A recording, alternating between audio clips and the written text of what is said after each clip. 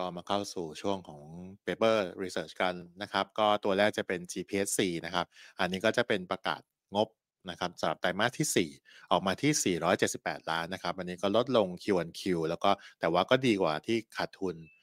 ในช่วงเยือนเยียนะครับ เป็นไปตามที่เราและตลาดคาดนะครับ แต่ถ้าไม่รวมรายการพิเศษเนี่ยกำไรของเขาจะอยู่ที่ 808 ล้านบาท อันนี้ก็ลดลง 63% Q1Q อันนี้หลักๆที่ลดลง Q1Q เนี่ย ก็ต้องยอมรับคือค่าไฟของนโยบายของภาครัฐเนี่ยเรียกว่าต่ำในช่วงไตรมาสสี่นะครับ ก็ทำให้ภาพรวมเนี่ยรายได้ก็ลดลงมา ก็ทำให้กำไรลดลงนะครับ แต่ว่าเทียบกับเยือนเยียเนี่ยจะเป็นเรื่องของค่าค่าแก๊สแล้วก็ต้นทุนถ่านหินที่มันลดลง ก็ทำให้ภาพรวมตี ตีขึ้นมาจากขาดทุนนะครับมาเป็นกำไรได้ในไตรมาสที่ 4 ตัวไซยบุรีเนี่ยภาพรวมก็ไม่ค่อยดีระดับน้ำก็ต่ำนะครับต่ำกว่าที่ที่คาดการณ์กันไว้แต่แรกนะครับ แต่ว่าอินเดียกับไต้หวันเนี่ยกลับมาเป็นกำไรได้ ก็เชื่อว่าปี 2024 เนี่ยสองที่นี้ก็ยังเป็นกำไรต่อเนื่องอยู่ แล้วก็แต่มาที่1นนะครับค่าไฟตอนนี้ก็มีการปรับตัวขึ้นแล้วนะครับ ก็เชื่อว่านโยบายภาครัฐเนี่ยถึงแม้จะยังมีการกดค่าไฟในระดับที่ต่ำแต่ก็ เทียบเป็น Q1Q ยังไง ก็คือเติบโตขึ้น แล้วก็เชื่อว่า Q ต่อ Q เนี่ยจากนี้ไปน่าจะค่อยๆขึ้นนะครับ ถึงแม้ว่าขึ้นไม่เยอะ แต่ก็เป็นเชิงบวกให้กับบริษัทนะครับ แล้วก็ฐานหินเนี่ยอาจจะมีนิดนึงก็คืออาจจะต้องมีการบันทึกขาดทุนบ้างหรือเปล่าที่ปีเรื่องของ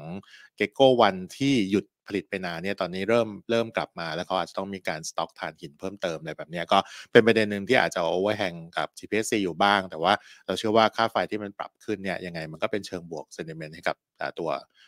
ตัวโรงไฟฟ้าได้นะครับ ตอนนี้เราก็ยังแนะนำซื้อเหมือนเดิมนะครับ ก็ที่เราอัปเกรดมาช่วงหนึ่งหลังจากที่ราคามันลงมาค่อนข้างแรงเนี่ย ตอนนี้เราก็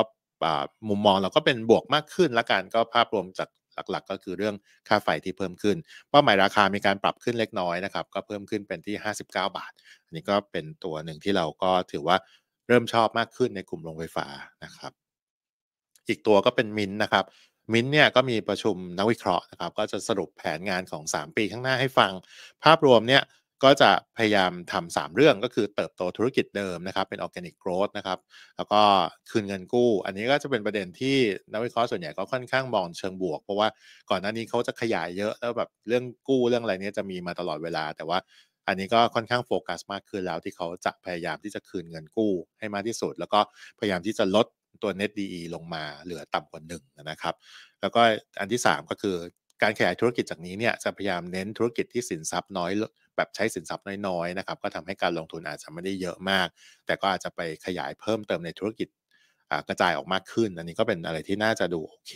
นะครับแล้วก็ต้องต้องการรายได้โตประมาณสัก 8-10%ซึ่งถือว่าด้วยกลุ่มที่เขาใหญ่ขนาดนี้มันก็ค่อนข้าง challenging เหมือนกันนะครับ เรามองประมาณสัก 5-6%เขาก็มองที่ 8-10 ก็ถือว่า บริษัทนี้ aggressive กว่าเราพอสมควรนะครับ แล้วก็ต้องการกำไรโต 15-20%ต่อปี อันนี้ก็พยายามที่จะไปลดค่าใช้จ่ายแล้วก็อะไรต่างๆ โดยเฉพาะการคืนเงินกู้เนี่ยเป็น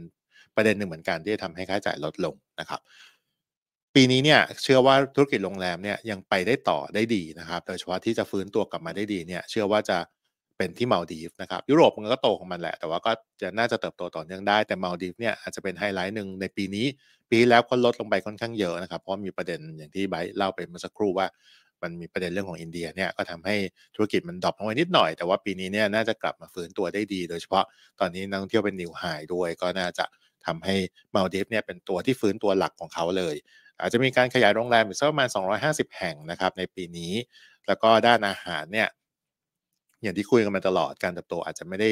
ไม่ได้มากละ ก็เป็นลักษณะของประคองไป ก็น่าจะโตเป็นแบบ single digit ต้นๆนะครับสองสามเปอร์เซ็นต์เท่านั้นเอง เราก็ยังแนะนำซื้อนะครับ เพราะภาพรวมของ